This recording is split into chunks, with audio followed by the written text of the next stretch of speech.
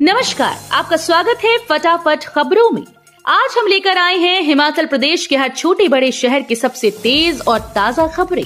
तो चैनल को सब्सक्राइब कीजिए और वीडियो कहाँ से देख रहे हैं, कमेंट बॉक्स में हमें ज़रूर बताइए।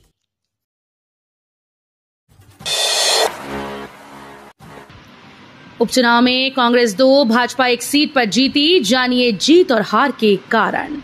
हिमाचल प्रदेश के तीन विधानसभा क्षेत्रों में हुए उपचुनाव के नतीजे शनिवार को घोषित हुए।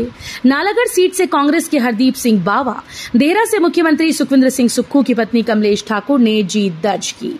वहीं हमीरपुर सीट से भाजपा के आशीष शर्मा ने उपचुनाव जीता। उपचुनाव नतीजों के बाद अब विधानसभा में विधायकों की संख्या फिर से अड़सठ हो गई। कांग्रेस के पास अब चालीस विधायक हो गए हैं। वहीं भाजपा के विधायकों की संख्या अट्ठाईस हो गई।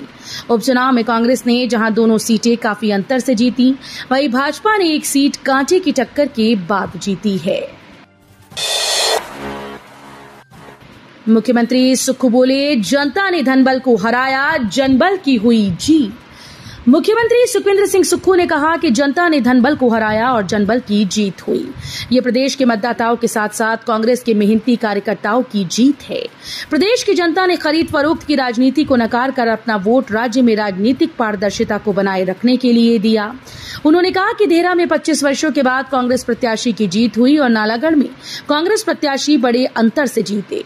हिमाचल प्रदेश में अब कोई भी पार्टी आने वाले 50 साल में खरीद फरोख्त की राजनीति करने की हिम्मत नहीं जुटा पाएगी। कई भागों में एक सप्ताह तक मौसम खराब रहने के आसार, दो दिन के लिए भारी बारिश का अलर्ट। हिमाचल प्रदेश के कई भागों में आगामी एक सप्ताह तक मानसून की बारिश जारी रहने का पूर्वानुमान है। मौसम विज्ञान केंद्र शिमला की ओर से राज्य के कई हिस्सों में 19 जुलाई तक मौसम खराब बने रहने की संभावना जताई गई। 16 व 17 जुलाई के लिए कुछ भागों में भारी बारिश का येलो अलर्ट जारी किया गया। राजधानी शिमला में शनिवार को हल्की धूप खिलने के साथ बादल छाए रहे। कांगड़ा में लगे भूकंप के झटके राज्य के कांगड़ा ज़िले में शनिवार दोपहर बाद दो बजकर सत्ताईस मिनट पर भूकंप के झटके महसूस किए गए। रिक्टर स्केल पर इसकी तीव्रता तीन दशमलव छह मापी गई। ज़मीन के भीतर इसकी गहराई पाँच किलोमीटर रही। नेशनल सेंटर फॉर सिस्मोलॉजी के अनुसार दिन में तीन बार हल्के झटके महसूस किए गए। जिन लोगों ने झटके महसूस किए, वे घरों से बाहर निकले। हालाँकि झटकों की तीव्रता कम होने की वजह से ज़्यादातर लोग इन्हें महसूस नहीं कर पाए। कांगड़ा ज़िले का अधिकांश क्षेत्र भूकंप की दृष्टि से अति संवेदनशील, यानी सिस्मिक जोन पाँच में आता है। इसलिए यहाँ बार बार भूकंप के झटके महसूस किए जाते हैं। कभी नसीब नहीं होता था एक वक्त का खाना, आज असिस्टेंट प्रोफेसर बनकर रोशन किया गाँव का नाम। भटियात की रंजे पंचायत के भौट गाँव के डॉक्टर भरत सिंह का चयन।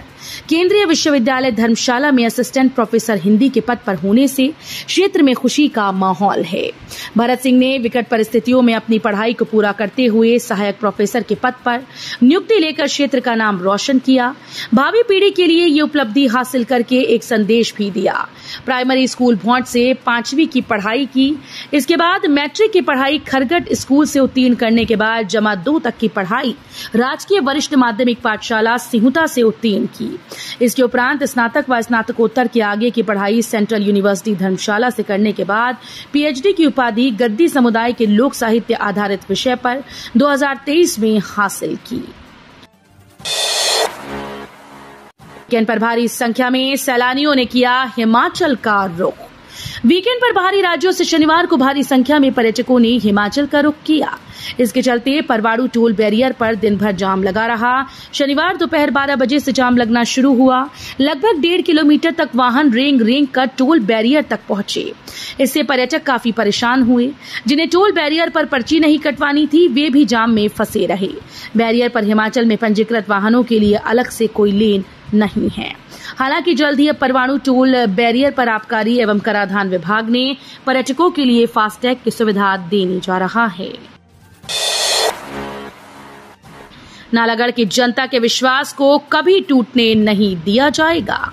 नालागढ़ विधानसभा क्षेत्र से उपचुनाव जीतने के बाद नवनिर्वाचित विधायक हरदीप बाबा ने कहा कि नालागढ़ की जनता ने उनके ऊपर भरोसा जताया है। उसे कभी टूटने नहीं दिया जाएगा। नालागढ़ के विकास के लिए जी जान से काम किया जाएगा।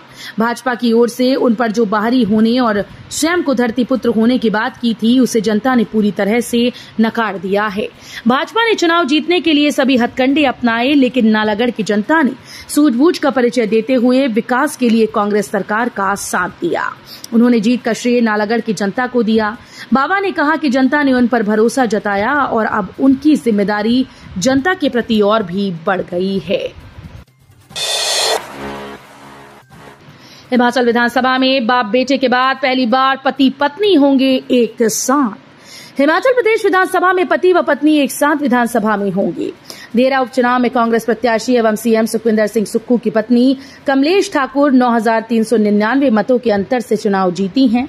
ऐसे में अब राज्य विधानसभा में सुक्खू व कमलेश एक साथ दिखेंगे। हिमाचल प्रदेश के राजनीतिक इतिहास में ये पहला मौका होगा जब पति पत्नी एक साथ सदन में होंगी। हालाँकि इससे पहले पिता व पुत्र विधानसभा में रहे हैं। इससे पहले जब जयराम ठाकुर सीएम थे तो उस समय पूर्व सीएम वीरभद्र सिंह एवं उनके पुत्र विक्रमादित्य सिंह विधानसभा में थे। एमबीए कोर्स में प्रवेश प्राप्त उम्मीदवारों की पहली सूची जारी। इस तारीख को खुलेगा फ़ी पोर्टल। हिमाचल प्रदेश विश्वविद्यालय के यूनिवर्सिटी बिज़नेस स्कूल के एमबीए कोर्स में प्रवेश प्राप्त उम्मीदवारों की पहली सूची जारी कर दी गई। सत्र 2024-26 के लिए एमबीए की सब्सिडाइज्ड सीट पर प्रवेश के लिए मेरिट के आधार पर यह सूची जारी की। इस सूची में शामिल उम्मीदवारों को अब 20 जुलाई को दोपहर एक बजे तक फ़ीस जमा करवानी होगी। फ़ीस ऑनलाइन जमा करवानी होगी। इसके लिए फ़ीस पोर्टल 16 जुलाई को खुलेगा। इस प्रक्रिया के बाद सीटें खुली रहने पर प्रवेश की दूसरी मेरिट सूची जारी की जाएगी और उम्मीदवारों को फ़ीस जमा करवाने के लिए समय दिया जाएगा। गौ तस्करी को लेकर देव समाज का फूटा गुस्सा, मनाली में बैठक कर लिया बड़ा फैसला। मनाली को तस्करी को लेकर देव समाज के प्रतिनिधियों का गुस्सा फूट पड़ा। नगर ब्लॉक के सभी प्रतिनिधियों ने शनिवार को मनाली में बैठक आयोजित कर गौमाता के साथ हो रहे अत्याचार की घोर निंदा की। बैठक में निर्णय लिया गया कि 16 जुलाई को मनाली में देव समाज के सभी लोग एकत्रित होकर धरना प्रदर्शन करेंगे। देव समाज के जिला अध्यक्ष मकरध्वज शर्मा ने कहा कि गौ हत्या व तस्करी किसी भी सूरत में बर्दाश्त नहीं की जाएगी। चंबा में बरसात को लेकर बिजली बोर्ड अलर्ट फ़ील्ड स्टाफ की छुट्टियाँ रद्द मौसम विभाग के द्वारा बरसात के दौरान अलर्ट जारी करने के बाद बिजली गुल होने के कारण जनता को परेशानी न हो। इसके लिए विद्युत बोर्ड ने कर्मचारियों की छुट्टियाँ रद्द कर दी। कर्मचारियों को ऑन कॉल ड्यूटी पर आने के निर्देश जारी कर दिए गए। ये निर्देश शिफ्ट में काम कर रहे कर्मचारियों पर लागू रहेंगे। विद्युत व्यवस्था को सुचारू रखने के लिए कर्मचारियों की शिफ्टों में ड्यूटी लगा दी गई है। बिजली बोर्ड चंबा के फोरमैन टीमेट लाइनमैन समेत अन्य तकनीकी कर्मचारी बरसात के दौरान केवल आपातकालीन स्थिति में ही छुट्टी पर जा सकेंगे। सुंदरनगर करसोक सड़क पर लकड़ी से भरा ट्रक खाई में गिरा दो गंभीर घायल।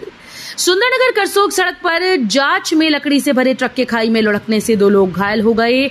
सूचना मिलने पर पुलिस चौकी निहरी की टीम ने मौके पर पहुंचकर जाँच शुरू कर दी। जानकारी के अनुसार इको में ट्रक फॉरेस्ट कॉरपोरेशन के लिए लकड़ी भरकर छतरी टीपरा से सुंदरनगर के धनोटू के लिए आ रहा था। इस दौरान जब ट्रक पांगड़ा के समीप जाँच में पहुँचा तो ट्रक अनियंत्रित होकर सड़क से नीचे खाई में लुढ़क गया। घटना के समय दुर्घटनाग्रस्त ट्रक में चालक सहित दो लोग सवार थे, जिन्हें गंभीर चोटें आई हैं। तो ये थी आज की फटाफट खबरें। हम मिलेंगे अगले बुलेटिन में। तब तक के लिए धन्यवाद। जय हिंद।